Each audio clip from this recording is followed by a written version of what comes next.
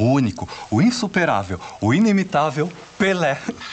Todo mundo vive perguntando: quem vai ser o próximo Pelé? Só bola fora. De vez em quando até aparece um fenômeno, mas só Pelé é Pelé. E só Bombril é Bombril, entende?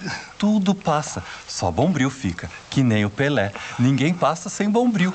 E quem escolhe outra marca não entende, entende? Só Pelé é 10. Só Bombril é 10.